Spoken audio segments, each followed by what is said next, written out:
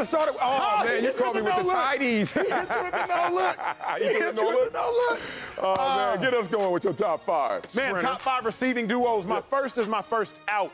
We got my first out, DeAndre Hopkins and Hollywood Brown. Oh, they did not make the cut mainly because DeAndre Hopkins suspended for the first six games of the season. Yeah. But America, do not be surprised when DeAndre Hopkins shows back up with Hollywood Brown, the speedster, that that duo comes to the top of the list. Remember, Hollywood Brown, Kyler Murray, Oklahoma mm. together had a phenomenal stint there. But that's my first out. Okay. My Love five it. spot. Oh, you got. So my last in, DeVonta Smith A.J. Brown, Philadelphia Eagles. I knew it. Now, I wanted to put him I higher, but I loved what I believe it was A.J. Brown even said this weekend on social media. Hey, we're not an all star team yet. Eagles running back Miles mm, Sanders said, Already. I feel like I'm an all with an all star team yeah, out there. He yeah. said, I got to earn my stripes. A.J. Brown said that. So the fifth best duo in ball, A.J. Brown, DeVonta Smith. Remember, DeVonta Smith won the Heisman at wide receiver at University of Alabama. Let's go.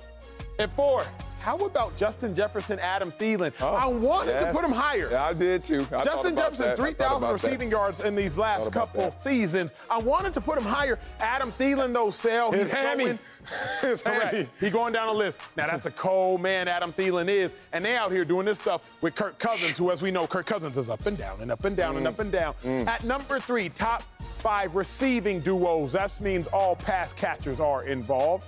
Davante Adams. Let's go. And Darren Waller. Yeah. Darren Waller, 250 yes. receptions, yes. 3,000 yards. The only player who has those stats over the last three seasons. Davante Adams, he needs absolutely no explanation at all whatsoever. Maybe the best receiver in football, if mm. not unequivocally the best receiver in football. At number two, let's go.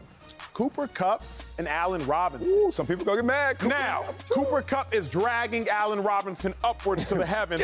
Allen Robinson, 3,000 yard seasons over the course of his career. Mm-hmm. Cooper Kupp won the Triple Crown last year. Most touchdown catches, most yards, most uh, receiving cat, most yeah, most everything. Anything that has to do with one the more in there. He is one Yards, more in there. Anything got to do with the most. He won. Catch. Thank you, sir. I love And more than anything, MVP at a Super Bowl. Come on. And number one, we got Ja'Marr Chase and Tee Higgins. I know you're gonna be mad at me for this. Why am I gonna be mad? Because you're mad at yourself for saying. I know you're gonna be mad at me for this. Put it on me.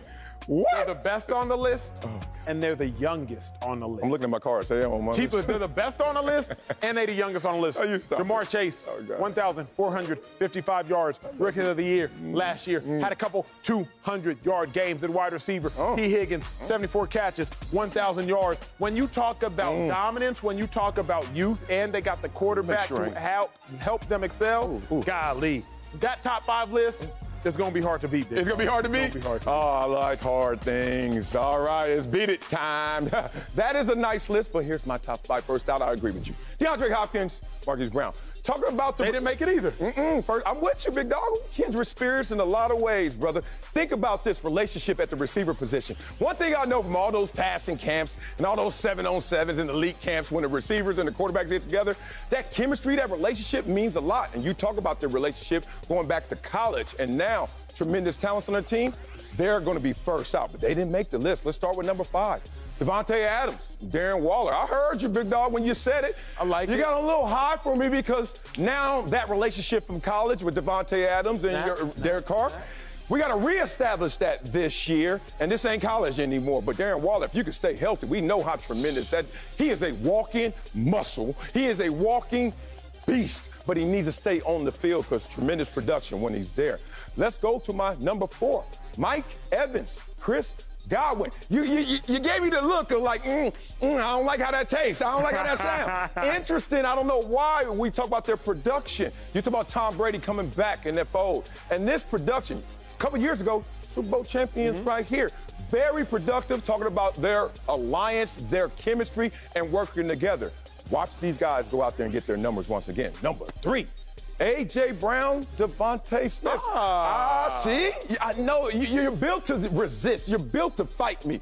But I'm just coming in for the hug, big dog. I respect this relationship because Jalen Hurts already has hit the ground running, and I mean literally running in the NFL. But now he is going to have these playmakers on the outside. Look at that. Oh, that arm talent of Jalen Hurts is going to be on full display. And I have confidence that he could get those guys the ball and be very productive. Number two, let's go back to Las Vegas. First of all, who needs to hear that and say, no, we all hear that. We say, yes, Davante Adams, I don't believe you didn't put them up there. Hunter Renfrow. I had to choose. I, I, you ain't had, to choose. Had to you had to just put them both up there like I did. Look at this. Number five and number two. Davante Adams is that special, yeah, but Hunter is. Renfrow. Nice. Talking about being a beast on the field, being in the right position, all of that talent and ability he has, and clutch. Has he ever dropped the ball? Like, I'm just going to ask anybody. Did he ever drop the ball? Hunter Renfrow and them, oh my God, Adams, they're going to beast out. Number one, I can't believe you didn't respect where you from, where you at. LA Chargers, brother. Keenan Allen, no, Mike now you're Williams. Doing too much. Oh, really? Now you're doing too much. Oh, oh, oh just the. Now you're doing too much. Just Your bias the only is showing. Uh, up there, I saw a thousand yards plus from both of those receivers. Matter of fact, the Chargers had three guys uh-huh. over a thousand yards, and you talk about the best quarterback potentially in football, and Justin Herbert. Look at this duo right here. You can't argue their production. They had the highest tandem production last year of all of the groups, so it's no bias, brother. It's just me out there okay. speaking these facts. Let me talk, start with a couple things. Let's go. Mike Evans, Chris Godwin, I got so many doubts about them. Here's Let's why. Let's hear.